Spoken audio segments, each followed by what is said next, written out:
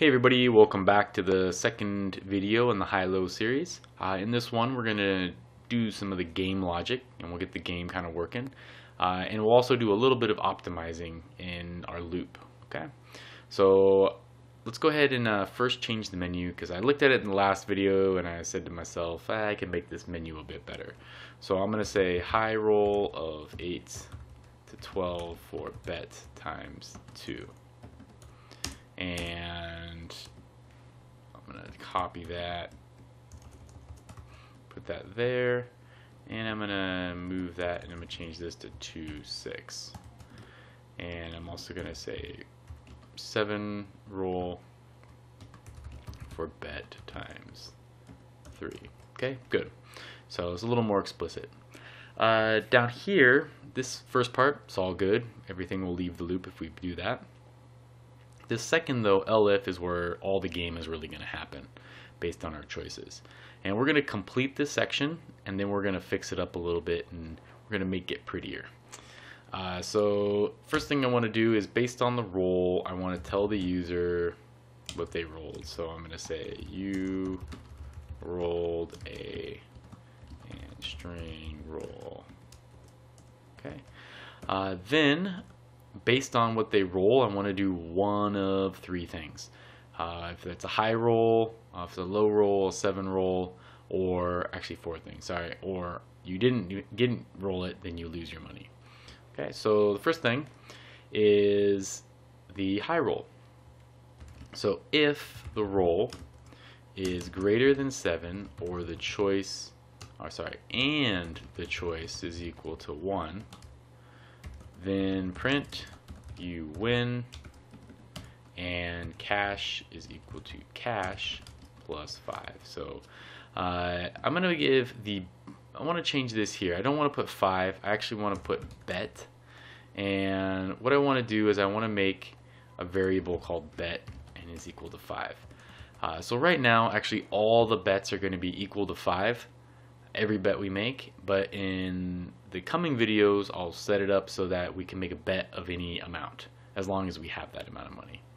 Okay, and I'm actually going to copy this line because what we're about to do next is very similar. And I'm going to say if roll is less than 7 and choice is equal to 2, you still win and you still get the same amount.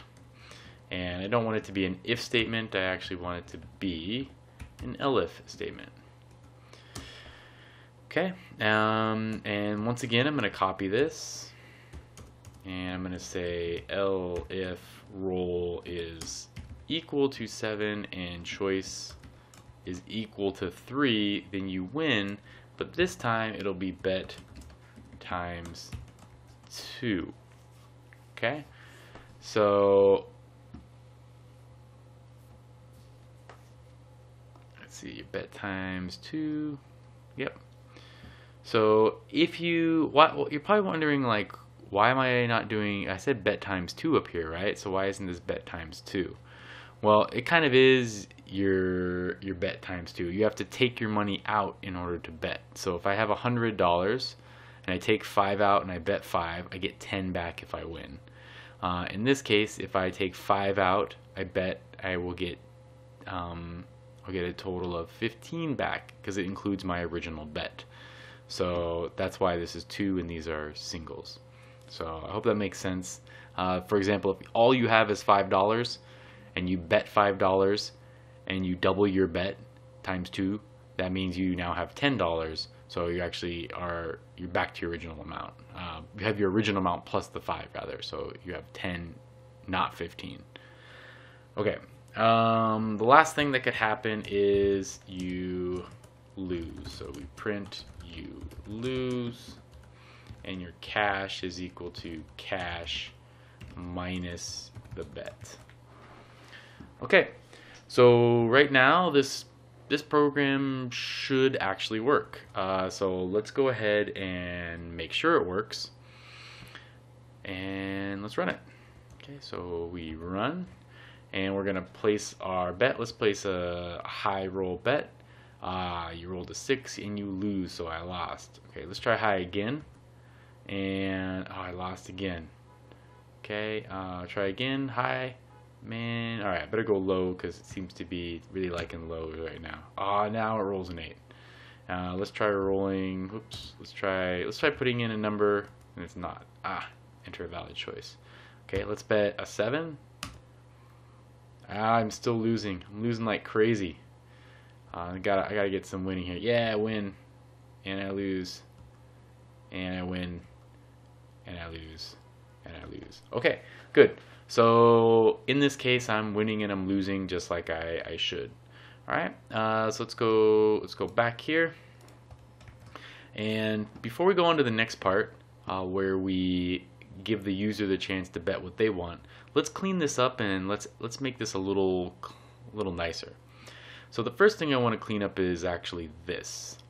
And this works, but there's a better way to do it and it, it uses the in statement that we saw when we dealt with lists. And it works like this.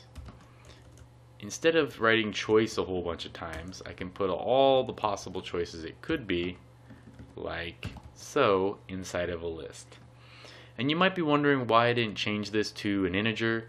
Well, if I change it to an integer, I have to use a try and except, and that just kind of expands it even more than I need to. So I'll just keep it all as strings, and it works just as well. Okay, so the next thing in here that I could fix is down here. We notice that this and this have the exact same information inside of it. So what I do is I actually am going to take this and I'm going to put it right here. And I'm going to put both of these in parentheses.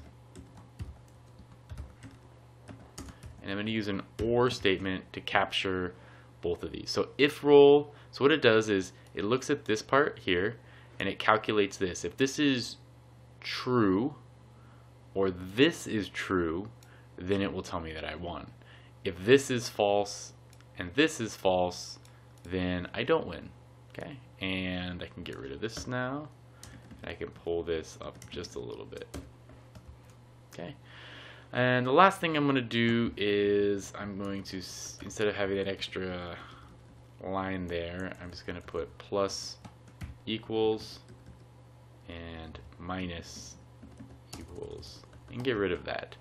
Okay, so I just trimmed the code up. I made it look a little bit prettier, uh, but as you can see, oops, I gotta actually put that on the same line, I believe.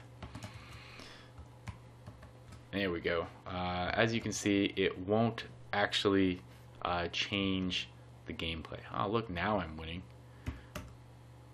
Oh, nice. I actually got a 7. Oh, I lost. And I lost. And I lost. And I win again. Okay, so the game works.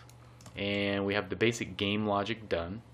Uh, the next video, I'm going to add the ability for the user to place their own bets and then in the last video, I'm going to I'm going to put some nice little options using lists up here, which is going to keep track of all the previous rolls so that you can see all the previous rolls for the last 10 or 15 rolls or something like that. Okay, so looking forward to seeing the next video for the uh, user making their own bets. And then we'll have one more video after that. And if as always, if you have questions or something, leave it on the website or in the YouTube comment section. So thanks for watching and see you soon.